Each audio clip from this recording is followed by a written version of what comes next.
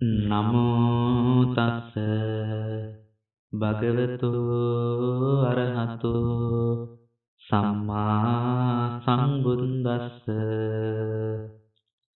කාර්මික සදහැවත් පින්වතුනි අද දවස අපිට ඊටමත් සුවිශේෂී වූ වැදගත් දවසක්. ඒකට හේතුව තමයි නවම් පුර පසළොස්වක් පොහෝ දවස යෙදිලා තියෙන්නේ අද දවසට. උඳුවප් ඒ වගේම දුරුතු මාසයන් වල ආරම්භ වෙච්ච සීත කාලය එහෙම නැත්නම් සීත ඍතුව ගෙවෙන විට උදාවන හේමන්ත ඍතුව ආරම්භ වෙන්නේ මේ නවම් මාසයේ. ඒ වගේමයි මේ නවම් මාසයේ තියෙන තවත් ලක්ෂණයක් තමයි දහවල් කාලයට දැඩි උණුසුම් තත්ත්වයක් තියෙනවා. ඒ වගේම රාත්‍රී කාලයට තරමක සීතල ගතියක් තියෙනවා. ඒක මේ නවම් මාසයේ තියෙන ලක්ෂණයක්. මේ නවම් මාසයේ පුර පසළොස්වක් පොහෝ දිනේ යෙදලා තියෙන්නේ අද දවසට නිසා මේ දහම් අනුශාසනාව තුළින් ඔබට කියලා දෙන්න බලාපොරොත්තු වෙනවා නවම් පුර පසළොස්වක් පොහොය දවස ශාසනිකමය වශයෙන් සමාජමය වශයෙන් අපිට වැදගත් වෙන්නේ ඇයි කියන කාරණාවන් පිළිබඳව මේ වැදගත්කම පිළිබඳව කතා කරනකොට කරුණු රාශියක් තියෙනවා මේ පොහොය දවසේ සිදුවෙච්ච සුවිශේෂ වැදගත්කම් හැටියට සඳහන් කරපු.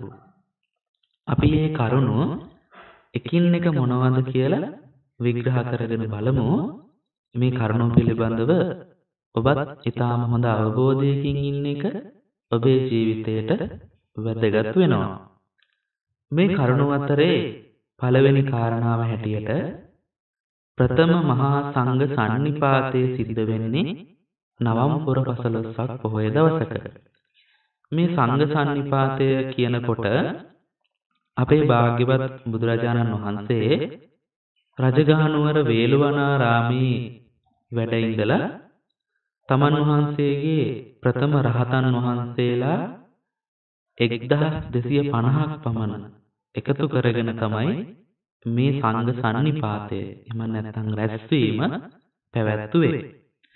මෙතනදී උන්වහන්සේ ඔබට මතක නම් ඌරුවෙල් දැනුවට වැඩම කරලා එහි හිටපු ඌරුවෙල කාශ්‍යප, නදී කාශ්‍යප, ගයා කාශ්‍යප කියන තුන් බෑ ජටිලයන් දමනය කරලා ඒගොල්ලන්ට මේ බුදුදහමේ අගය කියලා දීලා ඒ අය ඇතුළු එයාලගේ 1000ක පමණ පිරිසක් මේ සංඝ සමාජයට ඇතුළත් කරගත්තා. අන්න ඒ පිරිසත් ඒ වගේම තවත් රහතන් වහන්සේලා ඇතුළු මේ සියලුම දෙනා 1250ක් පමණ වුණාට පස්සේ තමයි මේ සංඝ සන්නිපාතය මේ වේළුවනාරාමේදී පවත්වන්නේ. ඒක මේ නවම්පුර පසළොස්වක බොහෝ දවසේ තියෙන ප්‍රධානම වූ වැදගත් කාරණාවක්. ඊළඟ කාරණාව තමයි සැරියුත් මුගලන් මහරහතන් වහන්සේලා සම්බුදු සසුනේ අගසව් තනතුරු ලැබුවේ මේ නවම්පුර පසළොස්වක පොහොය දවසක. මේ සංඝ සන්නිපාතය පවත්වන අවස්ථාවේ සැරියුත් මුගලන් කියන දෙනම ගිහි කාලේ නම් කෝලිත හා උපතිස්ස මේ කෝලිත හා උපතිස්ස දෙන්නා ගිරග්ග සමජ්ජ කියන නාට්‍ය බලලා ජීවිතේ අවබෝධ කරගෙන භාග්‍යවත් බුදුරජාණන් වහන්සේ බැහැ දකින්න එනවා. එන්නේ මේ වේළුවනාරාමයට. ඒගොල්ලෝ එනවා දුරතියාම දැකපු බුදුරජාණන් වහන්සේ අර මහා සංඝ සන්නිපාතයේ හිටපු සියලුම ආරහතන් වහන්සේලා ආමන්ත්‍රණය කළා කියනවා අන්න බලන්න ඈතින් ඉන්නේ මගේ මේ බුද්ධ ශාසනයේ අගසව් දෙනම කියලා. එතකොට මේ සරියුත් මුගලන් මහරහතන් වහන්සේලා පැවිදි භාවයට පත් වෙලා නැහැ තාම. කෝලිත හා උපතිස්ස වශයෙන් තමයි ඒ දෙන්න හැඳින්වුවේ. මෙන්න මේ කෝලිත හා උපතිස්ස කියන දෙදෙනා බුදු සසුනේ අගසව් තනතුරු ලබනවා පැවිදි වුණාට පස්සේ. පැවිදි වුණාට පස්සේ තමයි උන්වහන්සේලාගේ නම් සැරියුත් මහරහතන් වහන්සේ හැටියටත් මුගරන් මහරහතන් වහන්සේ හැටියටත් හඳුන්වනු ලැබුවේ. ඔන්න ඔය විදිහට මේ නවම්පුර පසළොස්වක පොහොව දවසේ සිදුවෙච්ච තවත් සුවිශේෂී වැදගත් කාරණාවක් හැටියට ඒ කාරණාව සඳහන් කරන්න අපිට පුළුවන්කම තියෙනවා. ඒ වගේම තමයි අපේ භාග්‍යවත් බුදුරජාණන් වහන්සේ මහා සංඝරත්නයට ඕවාද ප්‍රාතිමෝක්ෂය දේශනා කරන්නෙත් නවම්පුර පසළොස්වක පොහොව දවසේ. ඕවාද ප්‍රාතිමෝක්ෂය කියලා කියන්නේ අවවාද අනුශාසනා කරන එකට.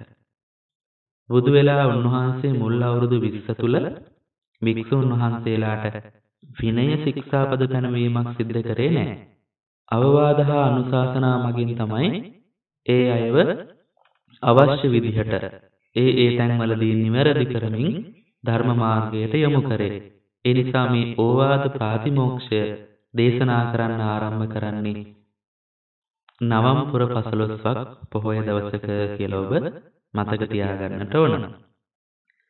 ඒ වගේම තමයි මේ පොහොය දවසේ සිදුවෙච්ච තවත් සංවේගය උපදවන කාරණාවක් තමයි අපේ බුදුරජාණන් වහන්සේ පිරිනුවන් පාන්න එහෙම නැත්නම් ආයු සංස්කාරය අත්හැරීම සිද්ධ කරන්නේ මේ පොහොය දවසේ.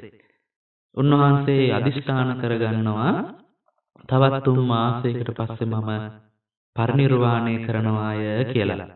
උන්වහන්සේට කල්පයක් කල් වැඩඉන්න ආරාධනා කරන්න ආනන්ද හාමුදුරුවන්ට අමතක වෙනවා. ඉතින් ඒ අවසරයත් මුල් කරගෙන භාග්‍යවත් බුදුරජාණන් වහන්සේ තීරණයක් ගන්නවා තමන්ගේ 80 වෙනි වියට පාතබුවට පස්සේ තවත් මාස 3කින් මගේ පරිනිර්වාණය මම සිද්ධ කරනවාය කියලා. අන්න ඔය විදිහට බුදුරජාණන් වහන්සේ ආයු සංස්කාරය සිද්ධ කරෙත් මේ නවම් පොහොය දවසකදී කියලා ඔබ මතක තබා ගන්නට ඕන. මෙන්න මේ කියන කාරණාවන් තමයි විශේෂ වැදගත්කම් හැටියට සඳහන් කරන්න පුළුවන් වෙන්නේ මේ පොහොය දවසේ සිදුවෙච්ච සිදුවීම් හැටියට. ශාසනිකමේ වශයෙන් ඓතිහාසිකමේ වශයෙන් ඉතාමත් වැදගත් පොහොය දවසක් තමයි මේ නවම්පුර පසළොස්වක පොහොව දවස කියලා කියන්නේ. ඒ මොකද බුදුරජාණන් වහන්සේ මහා සංඝරත්නය රැස් කරලා ඒ අයට අවවාද අනුශාසනා කරලා ඒ වගේම භික්ෂුන් වහන්සේලාට මේ බුද්ධ ශාසනය අරගෙන යන්න තනතුරු ප්‍රදානය කරලා මෙන්න මේ කටයුතු සියල්ලක්ම සිද්ධ කරේ මේ පොහොය දවසක වීම වැදගත්ම කාරණාවක්.